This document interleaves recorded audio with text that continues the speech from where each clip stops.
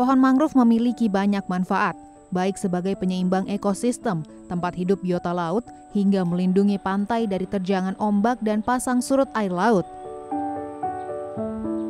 Manfaat tanaman ini tidak hanya saat hidup saja, namun saat sudah mati dan menjadi limbah, pohon mangrove tetap bisa bermanfaat. Misalnya kayu dari pohon mangrove bisa dijadikan aksesoris.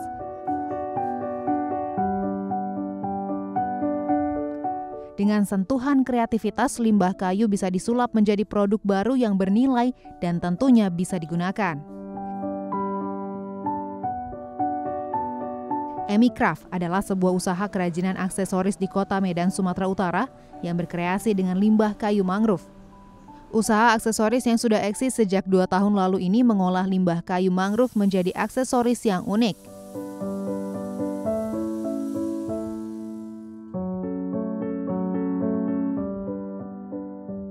Uh, jadi kita menggunakan kayu mangrove ini, yang pertama kita ingin memanfaatkan limbah. Karena uh, kayu mangrove yang di pesisir itu yang sudah mati digunakan warga untuk kayu bakar, jadi kita beli sama mereka gitu.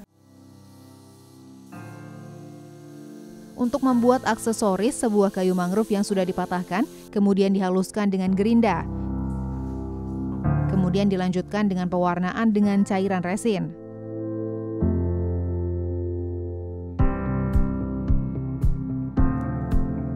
Setelah resin mengering dan mengeras, bakal aksesoris itu kemudian dipotong dirapikan bentuknya dengan gerinda. Dilubangi dengan bor, kemudian dibersihkan dengan air sambil diamplas. Aksesoris ini kemudian dikeringkan dan diberi clear spray agar saat dikenakan nanti memiliki tekstur yang licin, mengkilap, dan tahan air. Untuk kayu mangrove sendiri itu banyak jenisnya ya. Salah satunya kita menggunakan kayu mangrove api-api. Itu uh, mempunyai motif yang sangat unik, jadi bisa menonjolkan produk kita. Kalau untuk uh, aksesoris yang paling menarik sejauh ini, itu kita punya gelang glow in the dark yang dipadukan dengan kayu mangrove. Jadi uh, untuk gelang glow in the dark itu sifatnya menyimpan cahaya, jadi ketika di tempat gelap itu akan bersinar. Saat ini Emicraft telah memasarkan produk aksesorisnya secara daring maupun luring. Harga yang dipatok berkisar Rp45.000 hingga Rp150.000 tergantung bentuk dan polanya. Produk dari pemanfaatan limbah kayu mangrove ini pun sudah dipasarkan di Pulau Jawa, Kalimantan, Bali, Sulawesi, Mataram, hingga Papua.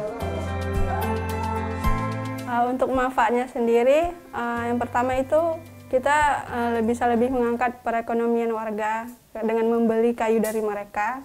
Lalu kita juga bisa mengurangi limbah yang ada dengan menjadikan limbah tersebut menjadi benda atau sesuatu yang bernilai. Limbah kayu mangrove kini tidak lagi sekadar menjadi kayu bakar, melainkan dapat dipoles menjadi aksesoris yang menarik dan bernilai ekonomi.